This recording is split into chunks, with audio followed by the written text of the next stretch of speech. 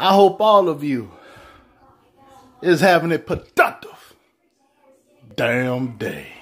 In the game, yeah. So you best know my name, yeah. Fuck all the money and fame, yeah. I'ma keep doing my thing, yeah. I'll be the best in the game, yeah. Everybody knows my name, yeah. Fuck all the money and fame, yeah. That shit is so overplayed, yeah. Party YouTube, Ice Cream Man, I'm back again with another video. Listen, um, I don't know uh, the full details. I just know that the guy, Marcus Maye, was arrested Thursday. Um, assault charge with a weapon. I didn't really dig too much deep into it like most people would. When I saw this article, I'm just gonna give my quick thoughts upon it. When I saw this article on the Bleacher Report, I was sitting here thinking, um,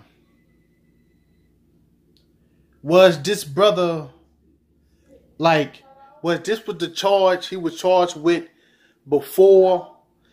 Um, because I know he had probably something like a DUI or driving drunk. He had something going on before the season. Now it's more reports talking about a assault charge with a weapon. So I, so at first I was thinking, is this is the same charge, or they just bringing it up, or this is something new? Once again, ding dong, I should have did my research on it. But just by me seeing that, and I'm still in my feelings, and I seen that, and I'm gonna dive right into it. I probably will make a second video if it's that, you know, if it's, you know, if it's really, you know, something that I should make. But what I'm just sitting here and I'm just gonna share like this is raw reaction, by the way. Like I like I look at things and I do a little bit of peek and see what's going on, and then I give it to you completely off the dome of how I feel. You know, that's why it's a thoughts and opinion video so uh, with that being said, uh, the way how I'm looking at this now, it, it just like we just gave away CJ Gardner Johnson, and now um, if he do end up getting time, which I thought he was already going to get time for the drive and draw DUI situation, whatever the hell it is.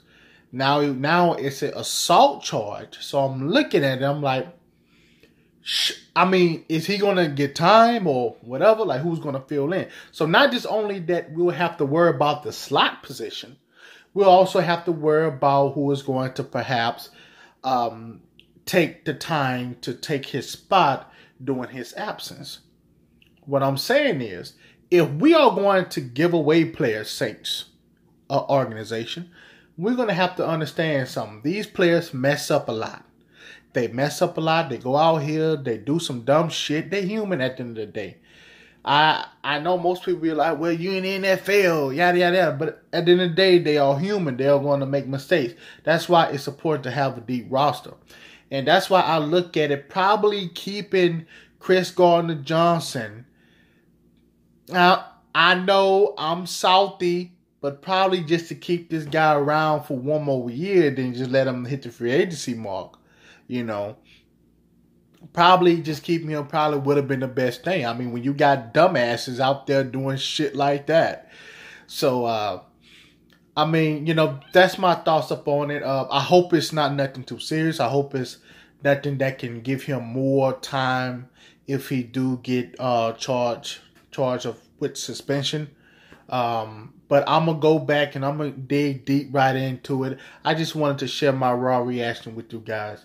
So, um, uh, if you guys know the full story about this assault charge or the DUI charge, or if he even getting suspended, feel free to hit the comment section down below. And um, once again, thanks for watching. Hit the like button, comment, subscribe, and I hope all of you is having a productive damn day.